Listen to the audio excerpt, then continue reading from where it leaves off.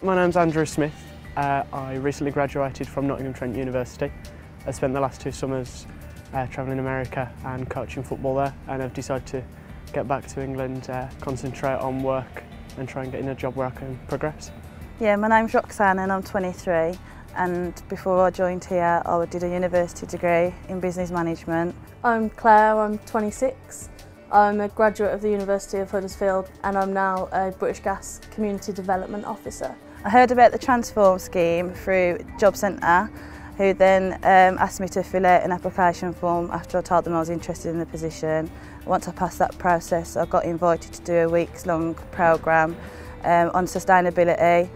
Um, after we did that course, I had the interview and here I am now. The week-long course with Transform is it helps you work on teamwork, and gives you information on sustainability that you wouldn't have had beforehand. Everything I've been taught through British Gas has always been new.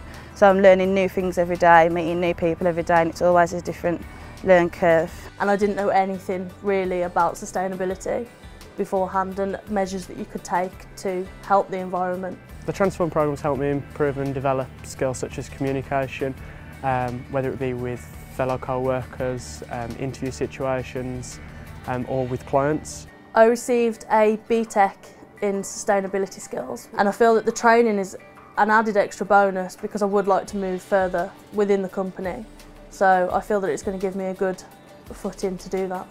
The benefit of joining Transform would be it gives an opportunity to an individual to get an interview with a, a large company where often it can be very difficult to even get a response from.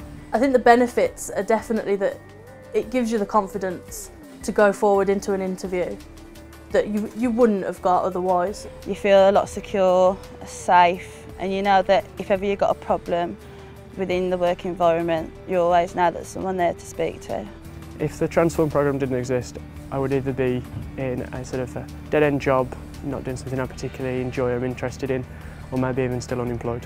This job is a really good job to have. It's, it's good to do and it makes you feel good while you're doing it.